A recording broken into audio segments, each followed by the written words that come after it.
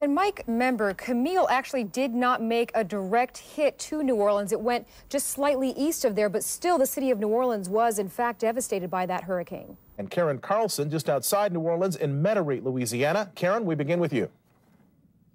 Well, Mark, you know, we've been out here for most of the day and it's been a relatively peaceful situation, but in the last few minutes, it seems as though the mood has started to change quite a bit. People who have been bussed out here and brought out here are saying, Where are the buses? We've been promised something and it is not here. So how will the mega merger between Bank of America and MBNA, one of the world's largest credit card companies, affect consumers?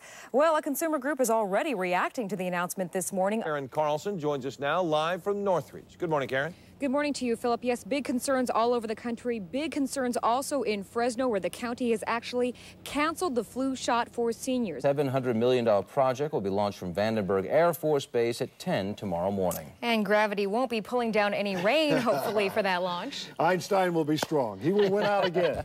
A big drop in temperatures earlier this week. Actually, even Thursday, we were seeing Palm Springs close to 90 degrees. So we're looking at a 10 to 15 degree drop in temperatures throughout the Inland Empire, along the coast as well. And you can see they're still working really hard out here, vacuuming like crazy. Actually, went inside just a few minutes ago. They are still setting up glasses. They're still putting out the chairs and tables. The question now is, will they be done in time when folks start arriving here at 8 o'clock? Well, we'll be here. We'll let you know coming up on Eyewitness News at 11. I'm Karen Carlson, live in West Hollywood. Now back to you, Micah. Sunday morning. Hurricane Katrina now packing sustained winds of 175 miles per hour and threatening the entire Gulf Coast. New Orleans, in the direct path of the fierce storm, ordered mandatory evacuations. Southern California's heat wave swelters into another day with temperatures heading back toward triple digits. And rapper Suge Knight in a hospital this morning after more violence. This time, he's hit with gunfire. Good morning. It's Sunday, August 28th. I'm John Gregory. And I'm Karen Carlson. Thanks so much for joining us this morning. The Southland will have another heat wave today. Some triple digit temperatures are again expected in the Los Angeles and Santa Clarita valleys.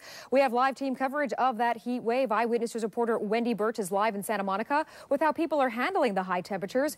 But we begin with eyewitness weather and meteorologist Christine Clayburg. Christine? Well, President Bush now speaking out on the dangerous and already deadly Hurricane Katrina. The storm is heading for the Louisiana coast with winds gusting up to more than 200 miles an hour. The president is pledging to do everything in his power to help the people in the path of that storm. Right now, it is a category five heading straight for New Orleans, a city, of course, that is below sea level. They have a very sophisticated levee system, but the pumping stations there are only equipped to handle a weak category three hurricane. And for the latest on the mass exodus out of town, we go to ABC's Daria Albinger on how residents are dealing with the threat of the storm.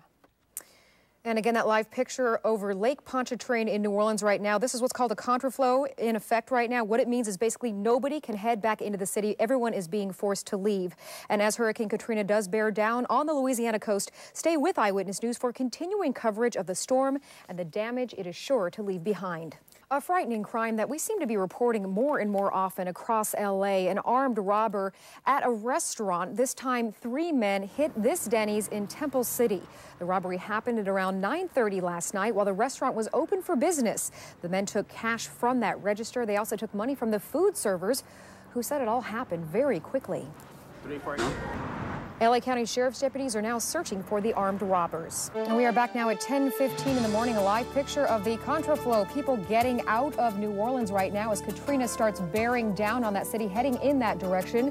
A Category 5 right now of 175 mile per hour sustained winds. The mayor of that city called for a mandatory evacuation. He called it a quote, a once in a lifetime event.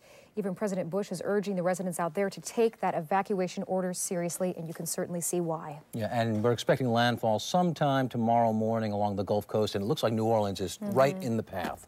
And Mike, as I remember, Camille actually did not make a direct hit to New Orleans. It went just slightly east of there, but still the city of New Orleans was in fact devastated by that hurricane.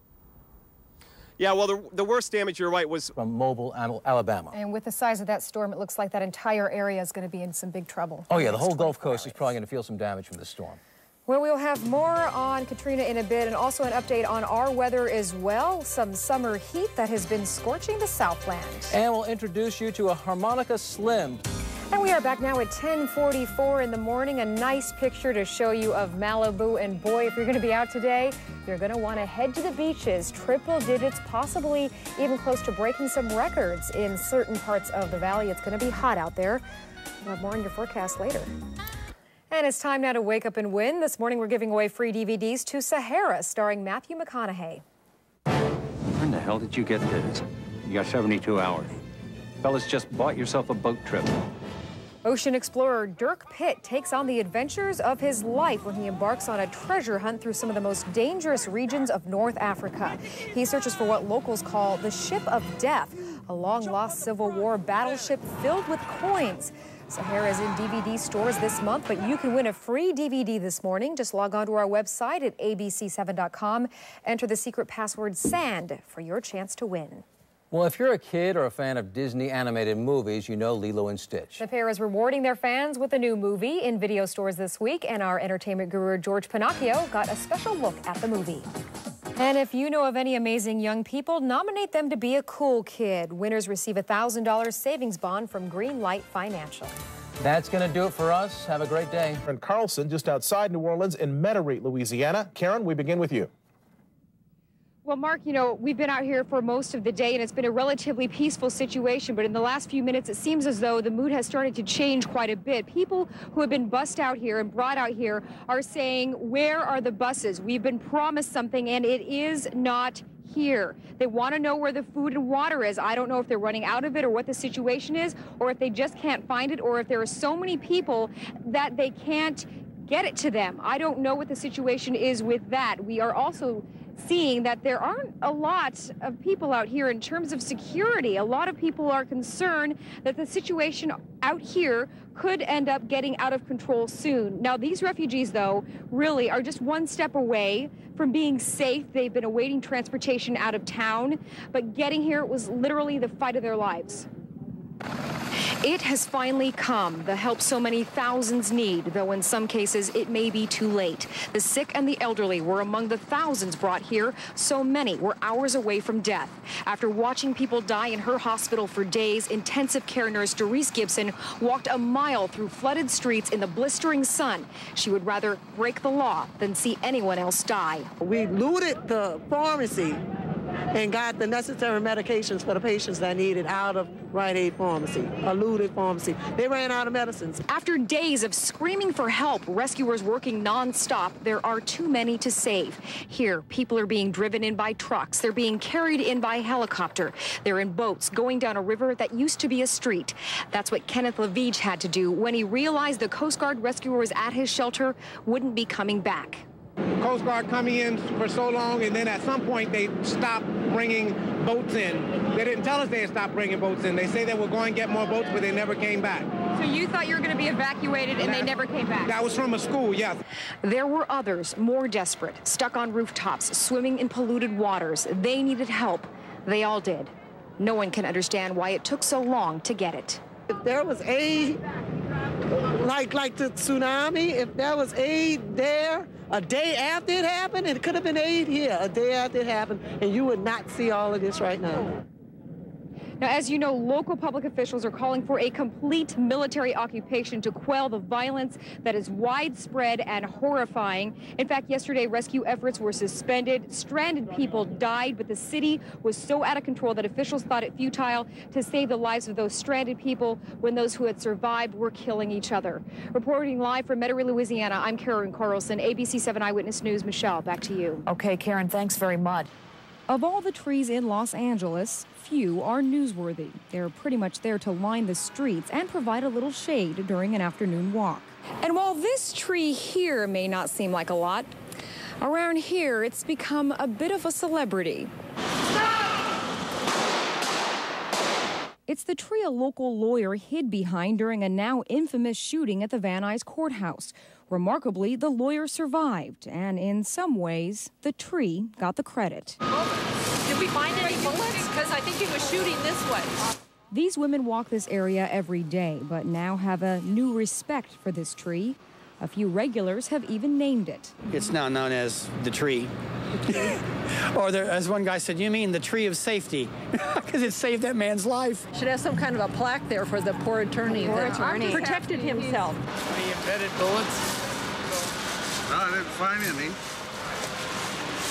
So this was it, huh? Yeah, that was a tree. Amazing. It's a famous tree. what are people saying about the tree? Have they given it a name? Uh, well, too little. Too little, I think, is the name. Too little, why? well, it was so small, you know, but uh, it did the job. While some see it on the way to work, others, like Simeon Diaz, make a special trip. So, are you here today to look for the tree? That's it right there. I'm, I, want, I wanted to show my mom. Boyer was stuck back and forth like this. Forth. And then as soon as the train stopped, he walked out. And back like, bum, bum, bum, bum. Yeah, he was shooting. And he's not the only one who's reenacted that fateful day with this fateful tree. Just goes to show in this town, even a tree, and a small one at that, can make it big.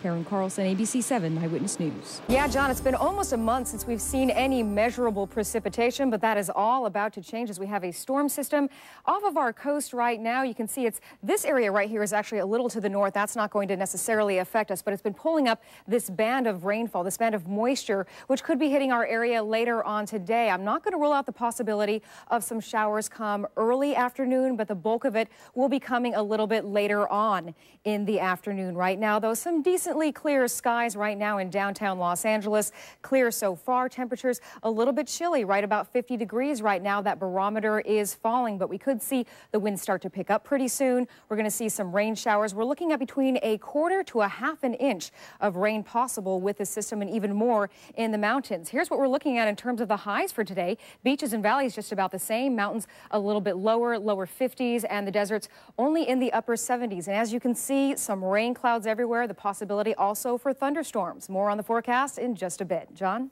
Thanks, Karen.